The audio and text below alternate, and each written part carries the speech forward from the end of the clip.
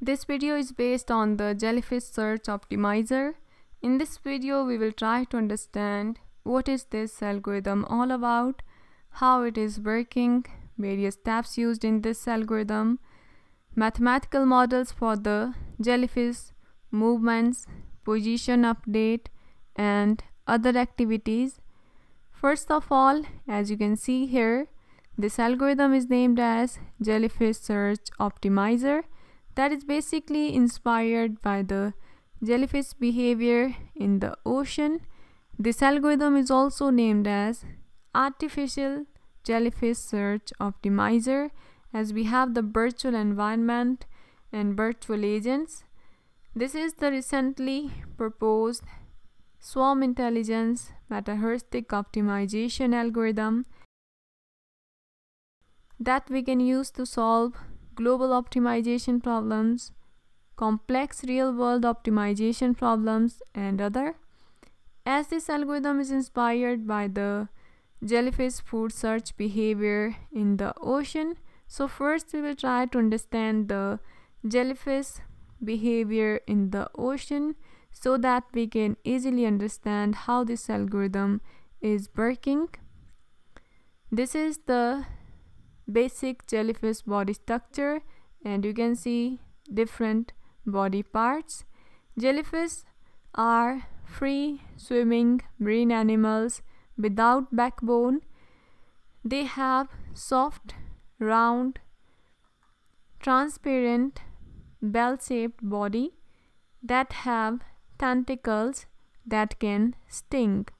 As you can see here, this is the jellyfish mouth and around jellyfish mouth you can see they have long stinging tentacles. Tentacles are flexible limbs used by jellyfish to catch their target and they also use their tentacles to defend against predators.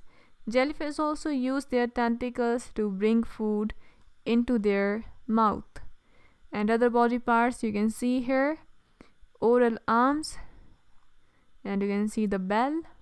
So this is the basic body structure. Jellyfish are found all over the world from surface water to the deep water.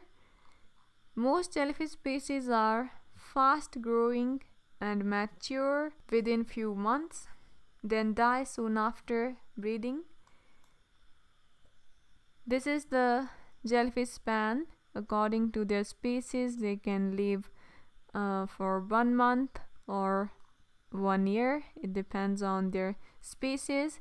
Jellyfish comes in variety of color, size, and their size is up to 1 to 16 inch and their diet they can eat planktons, fish eggs, small fishes, nutritious plants. As you can see here, they have the long stinging tentacles that they can use to catch their target and they can easily catch planktons, fish eggs, small fishes using their stinging tentacles and they can live on the surface water or in the deep sea. Jellyfish are easily found in the Australia, Indian Ocean, Pacific Ocean, Philippines. In certain countries, jellyfish are also eaten by human beings. As you can see here, this is the jellyfish bloom. Large mass of jellyfish is known as jellyfish bloom and they are considered dangerous due to their long stinging tentacles as they contain poison and some jellyfish species are considered dangerous to human lives as they contain poison. Now we have the jellyfish movements. Jellyfish can control their movements. When conditions are favorable, they can form swarm or you can say je jellyfish bloom. Here you can see jellyfish movements involve ocean current and we have motion inside the jellyfish swarm. And inside the jellyfish swarm time control mechanism is used to control their motion. That we will discuss in the upcoming slides next we have ocean current jellyfish can sense the ocean current and they can actively swim against the ocean current Jellyfish not only drift, but they sense the ocean current and move. Jellyfish swarms formation is either due to the ocean current, nutrients, temperature, or predator. Among all, ocean current is considered as the most important factor for the formation of jellyfish swarm. So jellyfish either follow the ocean current or they move inside the swarm. And inside their swarm we will use the time control mechanism to update their position. Ocean current is the fluid movement. And here we have two direction for the water horizontal and vertical. Vertical movement in the water is result of wind earth rotation. Now you can see we have different steps for this algorithm that are inspired by the jellyfish behavior in the real life. First, we will initialize the important parameters used in this algorithm, for example, population size, design variables, maximum number of iteration. Here, population size means total number of agents. For example, we have population size 10. It means we have 10 jellyfish in the population. After that, we will initialize the population for 10 jellyfish in the search space. After that, using objective function, we will evaluate the performance for each jellyfish in the current population. And here, we will sort the population and find out the best among all we will consider the minimum value among all as the global best value or cost.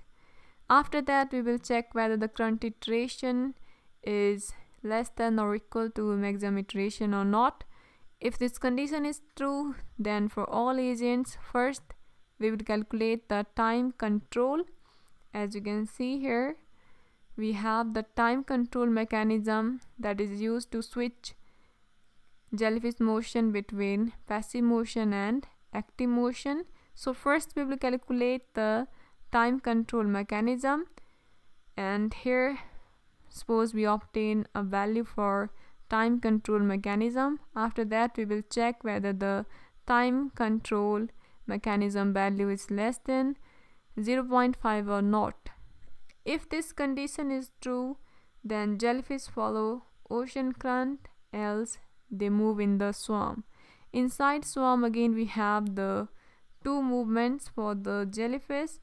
Again here you can see the function is used here. So here you can see this function is used to simulate the jellyfish movement in the swarm either passive motion or active motion if this condition is true then jellyfish follow the passive motion else active motion. Time control mechanism is used to regulate the jellyfish motion in the swarm. After that, we will check the solution boundary. As in step 7 we updated the position for the jellyfish. So here we will obtain the new solution so we will check the solution boundary whether all the solutions are within the bounds or not. After that, using fitness function, we will evaluate the new position that we updated here. And then again we will select the global best solution that is the best among all or you can say minimum value among all. After that in step 11 we will increment the counter and then check whether the stopping criteria is met or not. Here this is the stopping criteria whether the current iteration is less than or equal to maximum iteration or not. If stopping criteria is met, then we will display the optimal solution that is the global best solution be obtained in the previous iteration. Else they will repeat the step from 5 to 11 so as you can see here we have time control mechanism in step 6 active motion passive motion and ocean current. They are the movement calculation for the jellyfish in the step 7 so now we have the equations for time control passive motion and active motion and ocean current.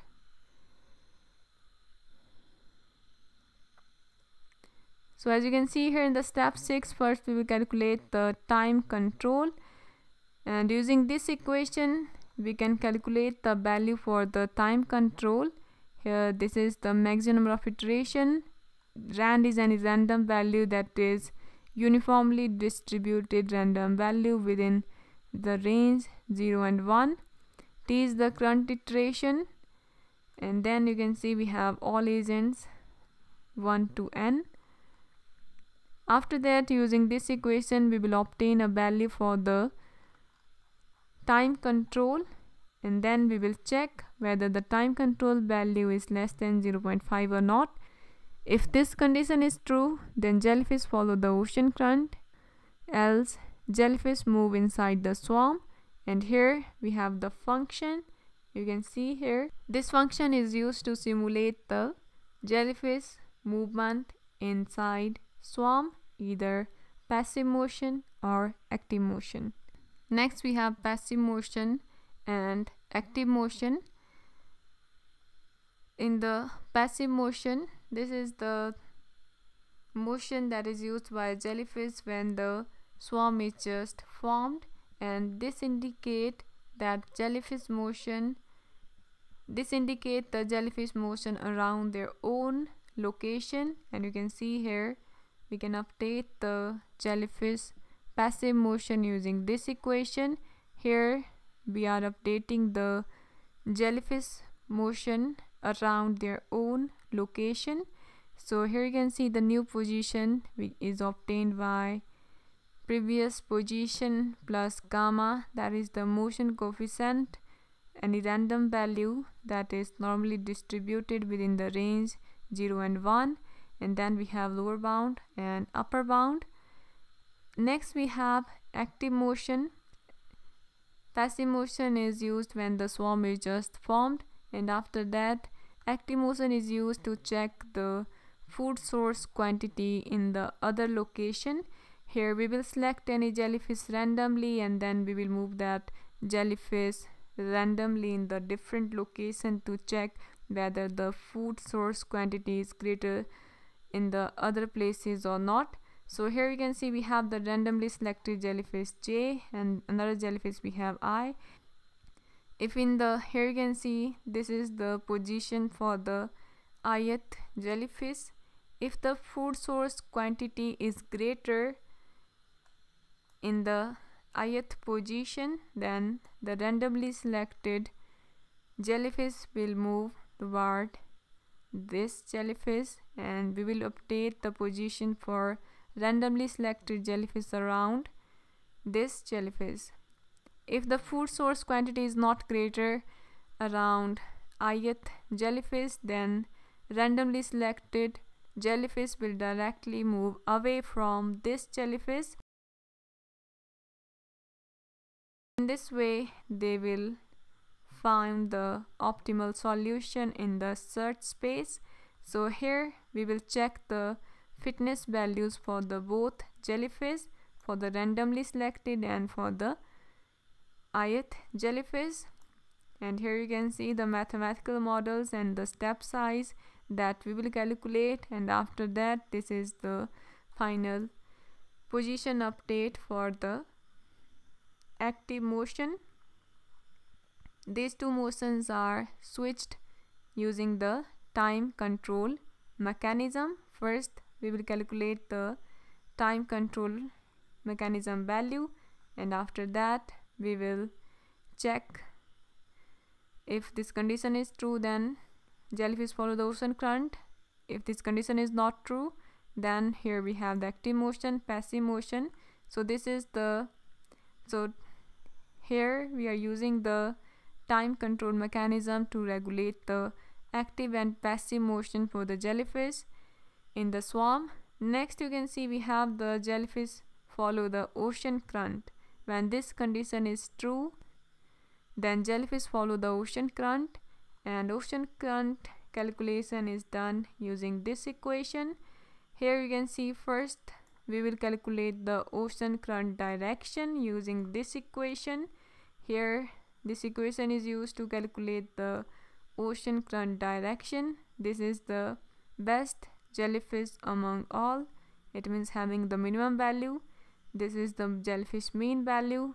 This is the normally distributed random value. And here mu is the swarm mean position.